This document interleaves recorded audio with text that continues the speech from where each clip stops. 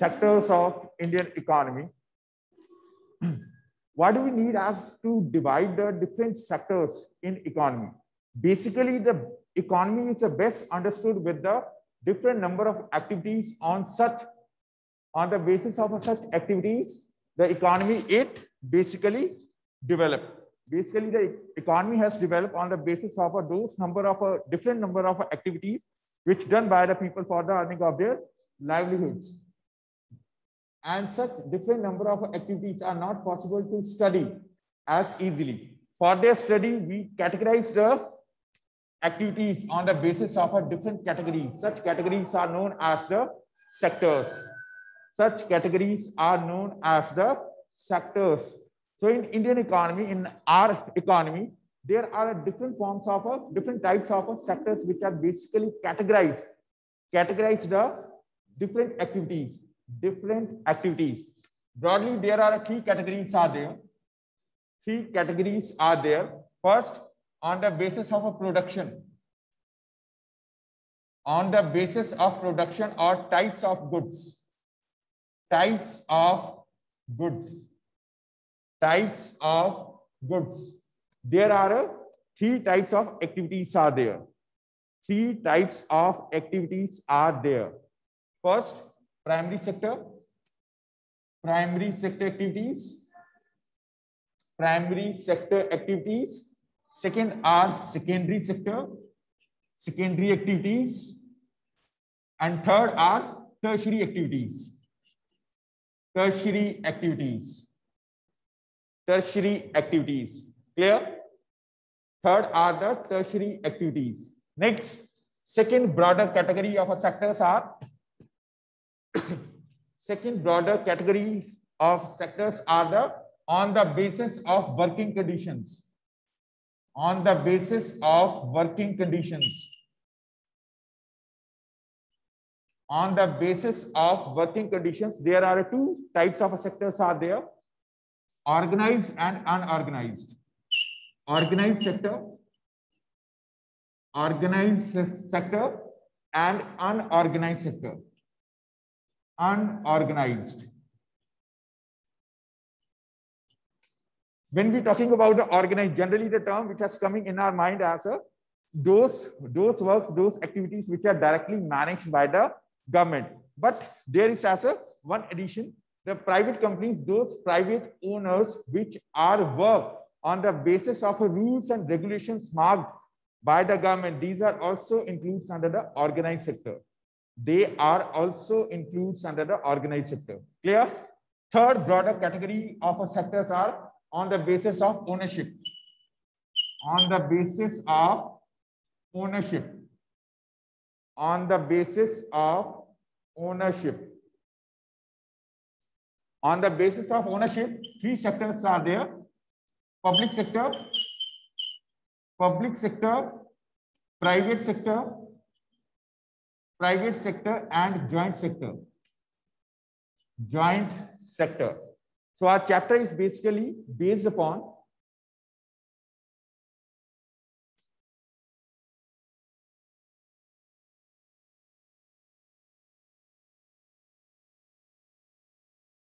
So our chapter is basically based upon uh, these categorization of the sectors, those sectors which basically divided all those number of activities done by the people for their earning of their livelihood, for the earning of their livelihood. Clear? Is that clear? Okay. So these are the different categories of a sectors. First, on the basis of production, the type of goods which are produced in a particular sector. These are the three primary, secondary, and tertiary. Primary, secondary, and tertiary. primary, secondary, and tertiary. Second, on the basis of working conditions. Workers' working conditions. Two are there, organized sector, unorganized sector. And third are the on the basis of ownership. Public sector, managed by the government, private sector, and joint when the public and private collectively work for the production of a production of a goods is known as the ownership uh, sorry joint sector. Clear? So let's start to discuss about uh, these all these number of sectors with the examples meaning what is their relation interrelationship between the these number of uh, sectors. Clear? Let's start first from the on the basis of a production. On the basis of production first primary sector activities primary sector activities primary sector activities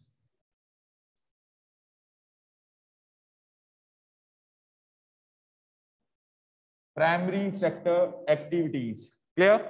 So primary sector, when we're talking about the primary sector, primary sector, it is basically produced as a raw materials.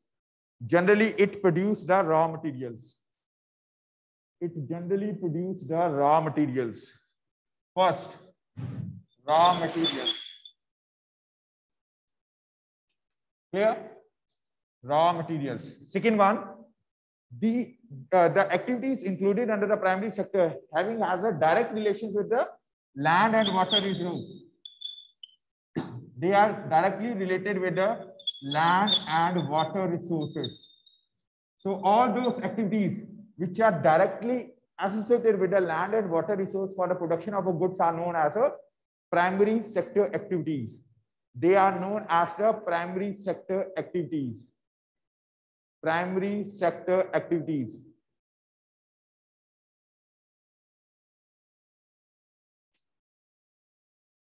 Clear? Primary sector activities. Third, third, this sector is known as the basic sector. This is known as the basic sector. Primary sector is known as the basic sector.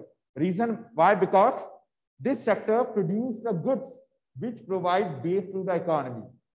Because those raw materials which are produced in a, this sector, these can't directly use, it can't be as a directly consumed. And these number of goods, they need as a uh, kind of a refinement, transformation, raw material transform into the other goods. So that that raw material provide as a base to the economy. If the that sector not exists in country, then the other goods are not possible to produce in a secondary sector, tertiary sector. If the raw material is not there, how can the industry, they will manufacture the goods? Not possible. That's why this is as the basic sector. Primary sector is known as the basic sector. And next one are the examples. What kind of activities are included under this? First, agriculture. Agriculture. Second, the uh, fishing. Second is the fishing. Second is the fishing. Now the examples of a primary sector activities are agriculture, fishing, forestry, F-O-R-E-S-T-R-Y, forestry. Their goods are used in a timber industry, in a paper industry. Wood pulp used in a paper industry. So forestry, F-O-R-E-S-T-R-Y, forestry, clear? I'm repeating again, farming, agriculture, fishing, forestry, mining. Mining also includes it because when we mine, when we extract the minerals beneath the layers of the earth crust, it is direct relation to the land resource. Direct relation to the land resource. Those goods which are directly obtained from the land and water resources are known as the primary activities. Primary sector activities. Understood everybody? Now the second sector secondary sector secondary sector activities secondary sector activities secondary sector activities. Secondary sector. Secondary sector is that sector though or those activities which transform raw material into the finished goods.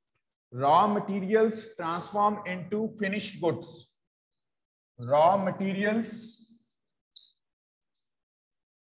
transform into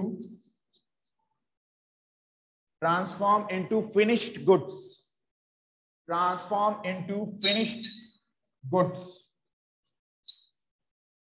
Finished goods. Clear?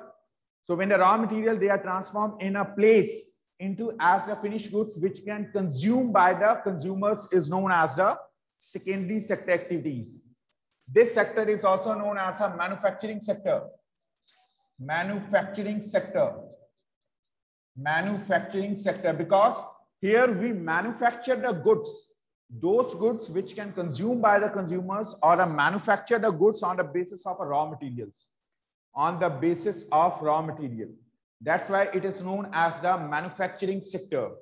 Secondary sector is known as the manufacturing sector. Clear? Secondary sector is known as the manufacturing sector. Third, so what kind of the examples are includes under it?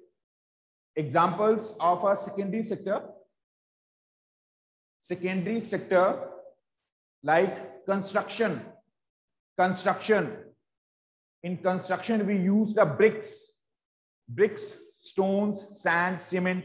They all these are the used for a making of a buildings, construction first, second, electricity, electricity, water supply, gas, cotton textile industries, iron and steel industries, paper industry, etc. I'm repeating again the examples. Manufacturing industries like as the cotton textiles and iron and steel industries, paper industry, electricity, construction, construction of buildings, construction of buildings, gas, supply, sorry, only gas, not supply, gas. Then next one is the water supply, water supply, etc water supply, etc. Clear? So these two primary and secondary sector, these are the interdependent. Interdependent.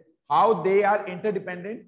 The goods which are produced in a primary sector. For example, as a wheat flow, sorry, wheat. Wheat produced through the agricultural practices. Such wheat has use in a bakery. Bakery is a secondary sector Bakery is the secondary sector. So the wheat produced by the primary sector used as raw material in bakery to manufacture bread or biscuit. Bread or biscuit. Clear? Bread or biscuit. Clear? Is that clear? So both are interdependent. How the primary sector has dependent on a manufacturing sector or a secondary sector, those machineries machineries, tractors, threshers, harvesters, which are produced in industries. These are used as a supportive or inputs in agricultural sector for production. Tractors, threshers, levelers, harvesters are used. Fertilizers, fertilizers manufactured, they are produced by the secondary sector, but used as a raw material in a primary sector for production.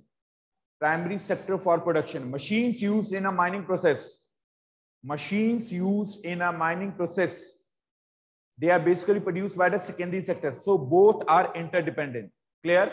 Without the existence of a one, other can't survive. If the raw material not produced by the primary sector, we can't produce the goods in a secondary sector.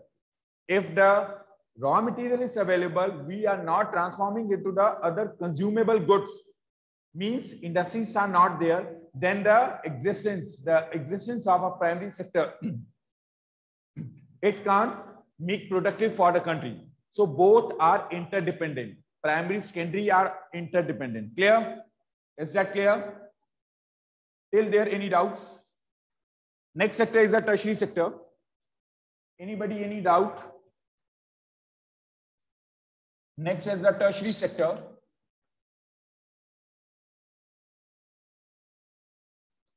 Yes, anybody? Any doubts? Any doubts? So now the tertiary sector. Tertiary sector does not produce goods. Tertiary sector does not produce goods. It produces services. It produces services.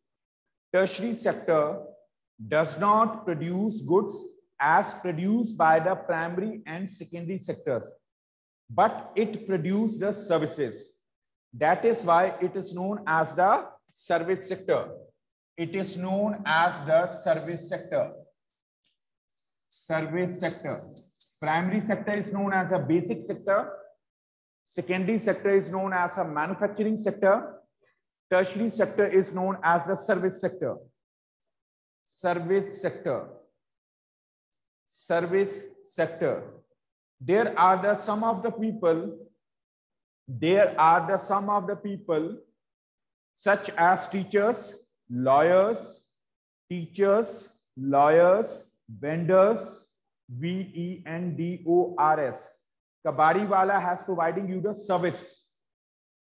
Kabadiwala, which is generally uh, coming in our homes, it is basically not produce the goods. It has providing us a service. Milkman uh, giving us the service. Newspapermen giving the services. They are giving the services. They are neither produce the goods. They are includes under the tertiary sector. Tertiary sector. All these are includes under the service sector. Tertiary sector having the two kinds of the services. Two kinds of services are there. Basic services, basic services and infrastructural services. Infrastructural services. Infrastructural services.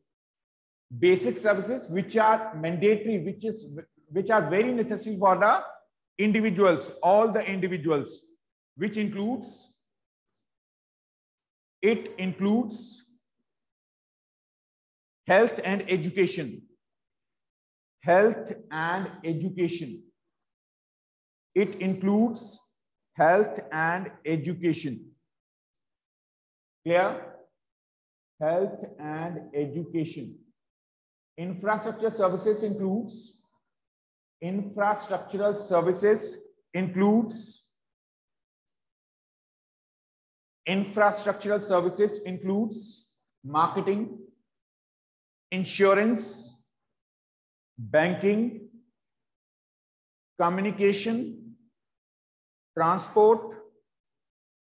I'm repeating, repeating again, transport, communication, banking, insurance, insurance, marketing, all these are the services, infrastructural services, infrastructural services. Understood? So these are the three broader categories of uh, sectors under the under the production on the basis of production on the basis of a type of a product type of a goods or a product, primary, secondary, and tertiary. Now, tertiary sector has also dependent on a primary and secondary sectors. Tertiary sector and primary sector, secondary sector, all these three are the interdependent. All these three are the interdependent. How? The services, those services which are required to move the goods from the agricultural fields towards the secondary sector, towards the industries for which we need the transport. Transport has a service provided by the tertiary sector. That's why they are interdependent.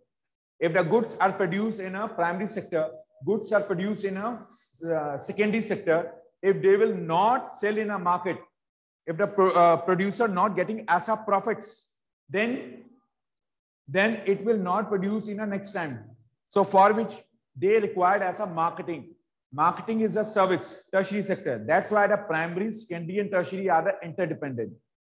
They are interdependent. If the means of transport are not fully developed, if the banks are not lending the money to, uh, to their borrowers, then how can the farmers, they will produce the goods or to complete their other needs, purchasing of the agriculture inputs and completion of their family needs, they are dependent on a banks they are dependent on banks. Clear? So that's why primary, secondary, and tertiary sectors, these three are the interdependent. These three are the interdependent. Primary and secondary activities need adequate support services. Adequate support services. Such services which help the movement of a goods from agriculture fields or a mining sites towards the industries. Mines towards the industries like as a transport. Transport. Marketing required for the selling of a goods. Banks are lending the money for a production or raising the production in a primary sector and a secondary sector. So all these three are the interdependent. Primary, secondary, and tertiary sectors are the interdependent. It is often useful to aggregate the production that passes through the nation's markets into the three broad classes, primary, secondary, and tertiary. The primary sector includes the harvesting of natural resources, especially as agricultural crops, agricultural crops, agricultural crops, fish, forests, minerals, and sources of energy such as coal, oil, and natural gas. These provide the foodstuffs, basic raw materials, and power on which other production depends. The secondary sector comprises all of manufacturing and construction. The tertiary sector covers the production of all the services such as transport, entertainment, personal services, commerce, retailing, government, finances, and professions. So all these three are primary, secondary, and tertiary are the interdependent. If the farmer produce to, uh, if the farmer refuse to sell the sugar cane. Sugar cane. if the farmers refuse to sell the sugar cane to the industries, then the sugar it can't produce. Sugar can't produce. Clear? Then the existence of industries, it will be not possible in economies. Clear? So all these three are the interdependent. All these three are interdependent. So they are giving their goods directly to the iron and steel industries. So to solve the problem of such intermediate goods, generally in economy, generally in economy, the distinction between as final goods and intermediate goods, final goods and intermediate goods should be clearly understood because value of only final goods and services is taken into account for measuring the national income. After production of a cotton, after production of cotton, the cotton cloth, their value has included under the GDP of the country. GDP of country or a national income. GDP stands for the gross domestic product. So the final goods are basically only includes under the GDP of the country, not the intermediate goods, not intermediate goods, not intermediate goods. Clear? Final goods are final goods, all goods,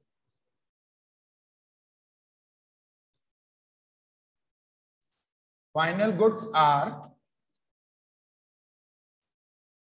final goods are all goods which are meant either for consumption by consumers, consumption by consumers, or for investment by firms, consumption by consumers, by consumers, consumption by consumers or for investment or for investment for investment by firms by firms is called final goods so those goods which are directly associated or which are generally used for the consumption by consumers consumption by consumers or for investment by the firms is known as final goods. They are known as final goods. They are finished goods. They are finished goods or final goods which can directly consume by the consumers which can directly consume by the consumers. These can directly consumed by the consumers. Clear?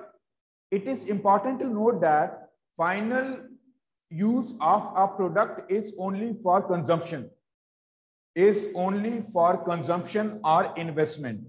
These are not resold nor they enter into further stages of production. When a good reaches its final user, it becomes a final good. So all goods purchased by consumers, consumer households are final goods because they are meant for final consumption. Similarly, all goods purchased by firms for investment, investment goods, remember the consumers acquire the goods for the consumption Whereas the firms, they acquire the goods, they acquire for the investment. Investment means capital formation. They use for the capital formation. Clear? Generally, the consumers, they purchase the goods for the consumption to complete their needs. But whereas the firms, they generally use the goods as the investment, means capital formation. After selling off such final goods, they earned some profits. Such profits they use for increasing the production as investment. As investment. Clear? So this is as these are as the final goods. These are as the final goods. Bisamjot, GDP stands for the gross domestic product. It is the sum value of GDP is calculated as sum value of goods produced by primary, secondary, and tertiary sectors. Primary, secondary, and tertiary sectors. For example, in primary sector, in primary sector, wheat produced, wheat produced, that wheat per quintal, per quintal, it's sold in the market as a 1600 rupees, 1600 rupees plus that wheat has used in a secondary sector means bakery. In bakery for the manufacturing of a biscuits. For manufacturing of bis biscuits. Clear? So that their value after selling of such biscuits, selling of such biscuits, the firm earned as a 2400. 2400. And for the manufacturing, for the production of a goods in a primary sector, Primary sector means production of a wheat, the farmer which lending the money from the banks, borrowed the money from the banks or either the industries, whatever the services they charge, their total expenses as the 300, 300 of the tertiary sector. Tertiary sector. Expenses on a services for the manufacturing of a biscuit in a secondary sector there some value is known as a GDP. 1600 plus 2400, 4000 plus 300, 4300. 4300, it will be as the GDP. Clear? This is as the GDP, gross domestic product. Is that clear? So this much for today. Rest we will